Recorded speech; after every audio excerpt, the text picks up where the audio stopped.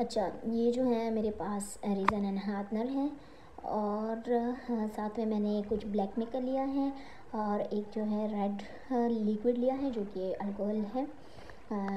Alcohol ink है red colour का और साथ में फ्लोटिंग गोल्ड लिया है और स्टोन्स हैं। Sorry they are not stones these are the crush glass और क्रश ग्लास को जो है मैंने अच्छे से फ्लोटिंग गोल्ड में जो है मिक्स किया था रब किया था और उसके बाद मैंने उससे फ्लोटिंग गोल्ड हटा दी थी।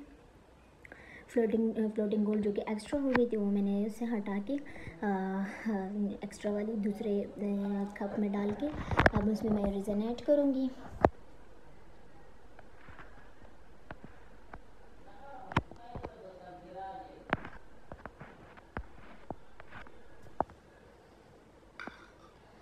अब फ़िलहाल मैं वीडियो के लिए वेट कर रही हूँ कि मेरी वीडियो उस जगह तक पहुँच जाए कि जहाँ पे मैंने रीज़न की मिक्सिंग वगैरह करनी है। तो मैं आपको फर्दर बता सकूँ कि इसमें क्या क्या मैंने ऐड किया है। साथ में मैं आपको मेज़रमेंट बता दूँ और मैं साथ में जब जो भी मेज़रमेंट जो भी रीज़न मैं यूज़ करती हूँ जिस भी चीज़ के लिए लाइक मैं न्यू चीज़ ट्राई करती हूँ कोई न्यू इंचज़ वाला काम करती हूँ लाइक मेरे पास पहले मैंने इससे पहले सिक्सटीन इंच की क्लॉक बनाई थी। अब मैंने ये twelve inch M D F पे जो है क्लॉक का काम स्टार्ट किया है। सो so, जो ट्वेल्व इंच के एम डी एफ़ में मैंने काम स्टार्ट किया है उसमें जो है मैंने तकरीबन फोर्टी फोर्टी हार्डनर लिया था और एटी रेज़र लिया था। लेकिन हमेशा के लिए ये बात याद रखिए कि आपने फ़िक्स टू फिक्स हार्डनर नहीं लेना है। आपने फोर्टी हार्डनर जो है अपने एक फिक्स मेज़रमेंट के थ्रू ले लेना है और उसके अलावा फ़ोर टू फाइव ग्राम जो है आप उसमें हार्डनर एक्स्ट्रा ऐड कर सकते हैं। सही है ना अपने बड़े प्रोजेक्ट के लिए आप थोड़ा सा हार्डनर अपने जो आपका जो फिक्स अमाउंट है उससे थोड़ा सा क्वांटिटी में आप एक्स्ट्रा ऐड कर ऐड कर सकते हैं। सही है ये मेरे पास टेन इंच एमडीएफ है और sorry twelve inch twelve inch और इसमें जो है मैंने आ, क्या किया मैंने इस पर फोर्टी जो था हार्डनर लिया था। और साथ में एटी जो है मैंने रिज़न लिया है सही है और इसमें से फोर्टी के साथ थोड़ा सा मैंने एक्स्ट्रा हार्डनर ऐड किया था वो फोर टू फाइव ग्राम आप ले सकते हैं। थोड़ा सा आपने एक्स्ट्रा ऐड करना होगा। फ़िक्स टू फिक्स पे नहीं चलना है। तो आपका काम अच्छे से आएगा। और कोशिश किया करें कि रीज़न आपसे बहुत ज़्यादा वेस्ट ना हो। आ, उसको यूज़ करने का भी आपको तरीका आना चाहिए।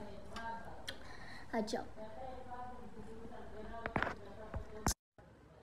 अब यहाँ पर मैंने क्या किया है कि मैंने ब्लैक में रीज़न डाला ब्लैक मिका में और फिर मैंने रेड अल्कोहल इंक में रीज़न डाला है और साथ में जो है मैंने फ्लोटिंग गोल्ड में रीज़न डाला है, सही है?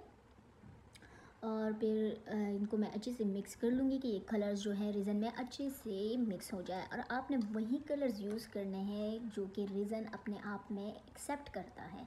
रीज़न भी एक ऐसी कोई ज़िद्दी सी चीज़ है कि वो हर एक प्रोडक्ट को, हर एक क्वालिटी के चीज़ को स्टफ़ को अपने आप में एडजस्ट भी नहीं होने देती है, ना उनसे अंडरस्टैंडिंग बनाती है।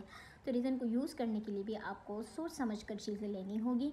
सो अल्कोहल इंक जो है, वो उसमें अच्छे से ऐड हो सकता है। मेकअप पाउडर्स कोई ड्राई ग्लिटर्स आपके पास है चंकीज़ है ग्लिटर चंकीज़ होते हैं, वो आपके पास है तो वो आप इसमें से ऐड कर सकते हैं।